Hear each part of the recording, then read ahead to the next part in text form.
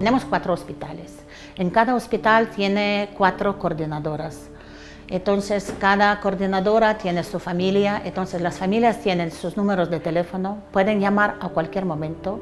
Es un trabajo 24 horas, porque claro, eh, una persona, una familia que está fuera de su país, eh, bueno, sin saber idioma, sentirse sola, además con cosas que están pasando en Ucrania, a veces se sienten muy dolidas, a veces necesitan solamente apoyo de una amiga. Entonces nosotros como coordinadoras intentamos dar todo lo posible que podemos dar.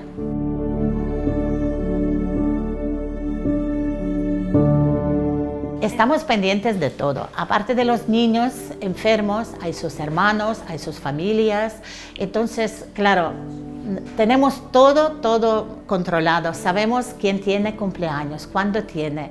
Entonces juntamos, preparamos algunas sorpresas. Si el niño está en hospital, entonces hacemos todo lo posible para entrar en hospital y hacer una sorpresa.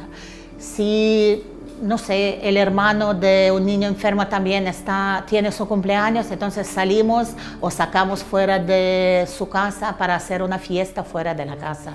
Intentamos hacer todo lo posible para que se sienten como en la familia. Bueno, yo creo que lo que familias están ya mm, viviendo en sus casas es muy importante. Primero, o que yo creo que le parece muy, muy así, un poco que da risa, pero lo más importante es la cocina.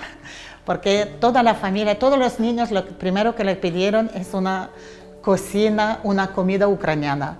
Claro, ni en hospital, ni en hotel donde vivían, sí que comían bien y todo, pero la comida ucraniana, los platos ucranianos sí que haría falta. Entonces lo primero que yo creo que, que hacen nuestras madres cuando vienen a casa, lo primero que estaban haciendo es cocinando sus platos preferidos de los niños.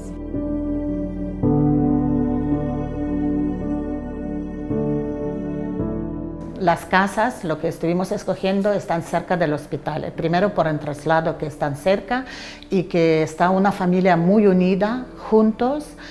Y bueno, en el camino que está cerca del hospital pueden ir juntos, pueden disfrutar del camino, que bueno, lo más importante es así, yo creo.